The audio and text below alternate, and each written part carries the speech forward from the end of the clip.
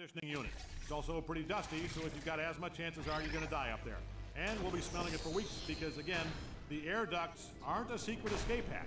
They're how we ventilate the facility.